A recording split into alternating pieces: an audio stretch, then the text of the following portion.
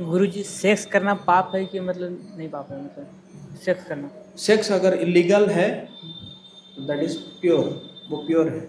भगवान कह रहे हैं कि वैदिक धर्म के अनुसार अगर सेक्स किया जाता है वो मैं हूँ। भगवान कह रहे हैं वो मैं हूँ। अच्छा। है ना?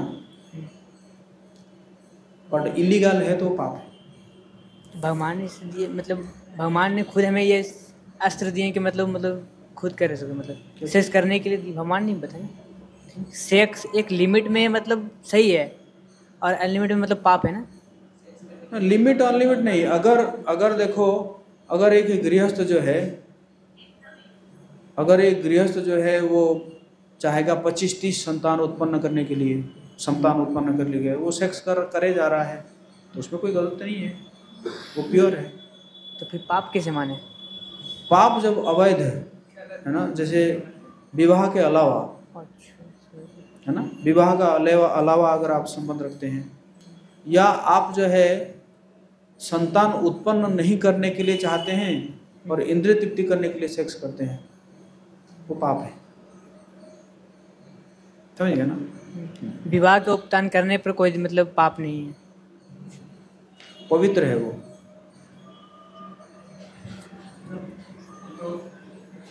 प्रभुपाद जी बोले इलिसिट सेक्स को डिफाइन किए हैं कि वो अ, महीने में एक बार ही करना चाहिए या फिर मैस्टरबेशन भी इलिसिट सेक्स होता है। तो पच्चीस संतान कोई कर रहा है तो वो इलिसिट सेक्स हो गया ना? क्यों?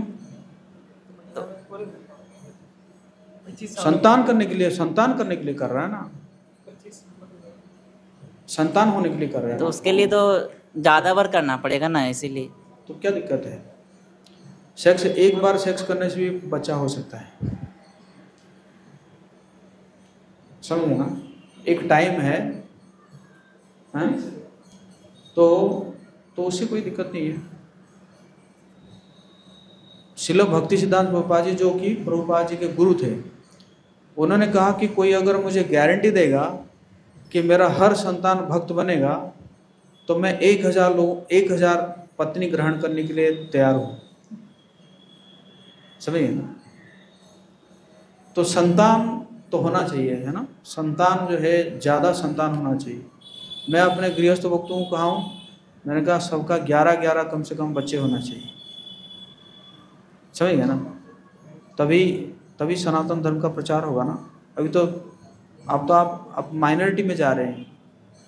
लगभग दस दस राज्यों में जो है, वो हिंदू माइनॉरिटी में चल गया है, चला गया है। क्यों? क्योंकि वो तो बढ़ा रहे हैं अपना फैक्ट्री और आप कह रहे हैं कि हम, हमारा एक। दो कहाँ है? एक एक पे आ गए हैं। समझ गए ना? तो मैं तो मैं इसके फॉर में नहीं हूँ। मैं कहता हूँ, भाई, अगर तुम्हें पा, नहीं पाल पाओगे, मेरे पास ले आओ। मैं पालूँगा। पाँच छः साल के बाद, उससे पहले नहीं। पाँच छः साल अपना पाल लो और छः साल के बाद मंदिर में ले आओ। हम गुरुकुल खोल रहे हैं। हम पढ़ाएँगे, उसको रखेंगे। आगे जाकर धर्म प्रचार करेगा। गुरुजी अगर ज़्यादा मतलब बच्चे आएँगे मतलब पॉपुलेशन बढ़ेगा तो इन्वायरमेंट नेचर पर मतलब अनबैलेंस भी हो जाएगा। वो तो फिर वो भगवान देखेंगे आप उसको टेंशन मत लीजिए।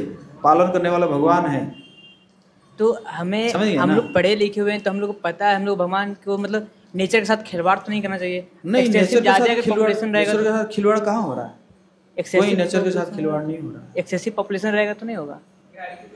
पॉपुलेशन बढ़ेगा ज़्यादा तो नेचर पे तो बर्बाद होएगा नेचर हैं? मैं वही तो इसलिए तो कह रहा हूँ, मंदिर में दे दो। मंदिर में दे दो, मंदिर में कोई कमी नहीं है। मंदिर में कोई कमी नहीं है। गुरुकुल गया में खोल रहे हैं? खोलेंगे। अभी तो समझ गया ना?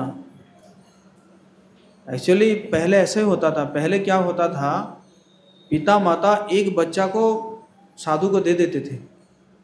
भगवान की सेवा में दे देते थे एक बच्चा को। क्यों? उनके पास ज़्यादा बच्चे होते थे। अब तुम एक ही बच्चा करोगे या दो बच्चा करोगे? और उसको कहाँ दोगे?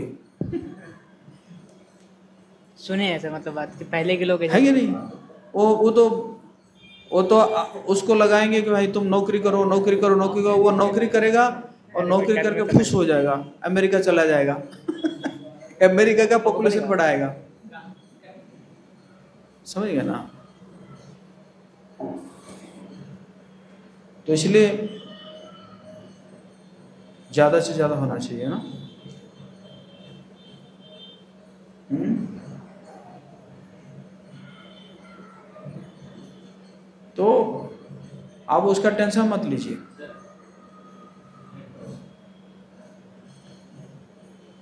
प्रभु आप बोल रहे हैं कि जनसंख्या और ज़्यादा से ज़्यादा होनी चाहिए लेकिन गवर्नमेंट ने इस पर रोक लगाई है।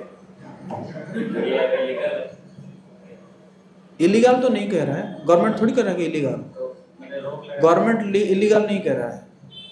गवर्नमेंट कह रहा है गवर्नमेंट उन्हीं को देख के कह रहा है उन्हीं के लिए कह रहा है। गवर्नमेंट कह रहा है कि मैं जो है, गवर्नमेंट नौकरी नहीं दूँगा। मैं तुम्हें राशन नहीं दूँगा। मैं फैसिलिटी नहीं दूँगा।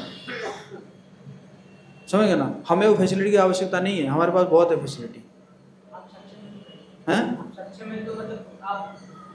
है। मुसलमान क्या कर रहे हैं? उनको कह रहे हैं, भाई, हमें वो जो हमारा भाई संख्या बढ़े। हम संख्या बढ़ेंगे तो हम अपना राज्य बनाएँगे। उनका उनका फंडा क्लियर है उनका एजेंडा क्लियर है। और हम लोग जो है वैसे ही पकड़ के बैठे हुए हैं। एजेंडा क्लियर होना चाहिए। अगर ये माइंडसेट से हम लोग हम लोग चलेंगे कि हम जो हमारे जो ये आने वाले टाइम में हमारे बहुत कम हो जाएगा। कम हो ही रहा है हो जाएगा नहीं हो रहा है। ऐसे कई गाँव जो है कई गाँव एक मैं पढ़ पढ़ रहा था, एक तमिलनाडु में एक गाँव है। उसमें एक मुसलमान परिवार आया रहने के लिए। और उस, वहाँ का जो सिक्योरिटी गार्ड था गाँव का, उसने मना किया, आप बैठ जाइए बैठ उसने मना किया कि नहीं नहीं, इसको मत रखो। तो गाँव वाले नहीं नहीं, एक परिवार तो आया है, उसको क्या है, उसको दे दिए। उसका आठ बच्चे हुए। आठ बच्चे हुए, फिर वो जाके पहुँच गया मुखिया के पास। देखिए मुझे एक घर मिला है और मेरे आठ बच्चे शादी करेंगे। तो क्या होगा बताइए? तो मुझे और ज़मीन दीजिए। तो फिर मुखिया ने क्या क्या कहा? ठीक है, वो वो वाला ज़मीन ले लो जाओ और करते करते करते लगभग कितना कह रहे थे? तीस साल में इतने हो गए, इतने हो गए और उसके बाद फिर ऐसे परेशान कर रहे हैं, करे करने लगे हिंदुओं को, हिंदू अपने आप ही भाग गए उस जहाँ फिर वो जगह का नाम ही चेंज कर दिया गया। है ना? कश्मीर में क्या हुआ? हम्म? इसलिए संख्या बढ़ाना होगा। है ना? संख्या बढ़ाओ और साथ साथ जो है, धर्म को भी स्ट्रांग करो।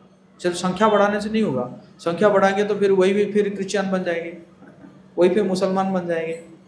साथ साथ धर्म को भी स्ट्रॉन्ग करना पड़ेगा।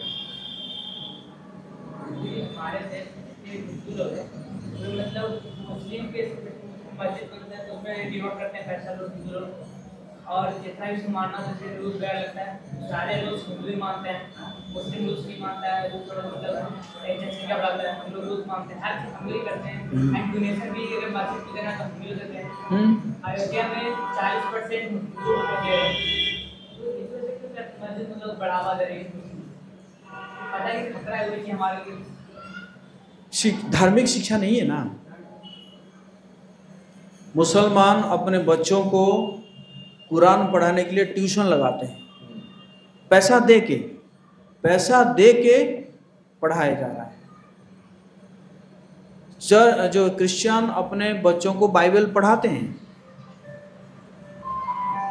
और हम लोग यहाँ पे फ्री में पढ़ा रहे हैं, तभी लोग नहीं आ रहे हैं। समझ गए ना? क्योंकि पेरेंट्स जो है पेरेंट्स ही वो नहीं कर रहे हैं। मतलब दे आर नॉट ट्रेंड वो देख नहीं पा रहे हैं कि आगे का आगे का क्या खतरा है। आगे कितना खतरा है देख नहीं पा रहे हैं।